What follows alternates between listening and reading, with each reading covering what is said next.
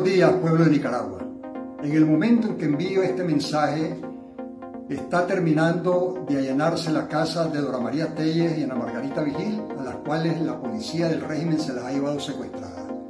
Sin orden de allanamiento, sin orden judicial que ampare tal arbitrariedad.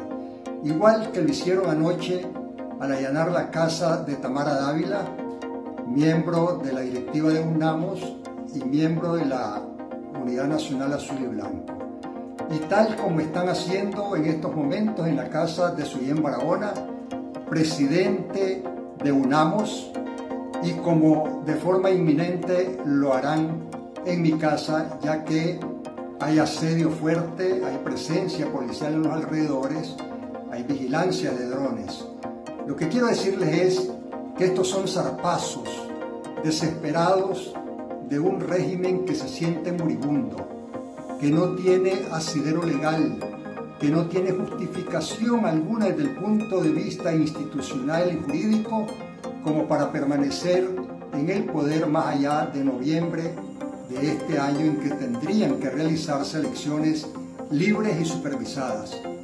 No es un régimen legal, nuestra lucha sí lo es, nuestra lucha, la del pueblo de Nicaragua, por la que ha tenido que pagar grandes sacrificios, sí lo es.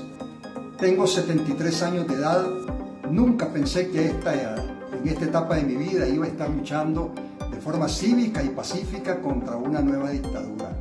La dictadura de los Somoza no logró encarcelarme. Luchamos duro, murieron muchos compañeros. Era otro espacio, otro tiempo y otro contexto. Hoy la lucha es pacífica y eso nos da una gran fortaleza. Hace 46 años arriesgué la vida para sacar de la cárcel a Daniel Ortega y a otros compañeros presos políticos. Y en 1978 volví a arriesgarla junto con Dora María Telles y otros compañeros para liberar a aproximadamente 60 presos políticos, entre ellos Tomás Borges, Doris Tijerino, René Núñez y otros.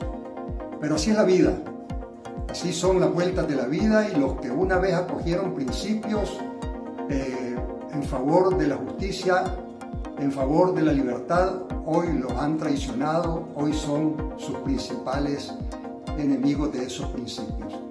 Así es que ánimo pueblo, ánimo.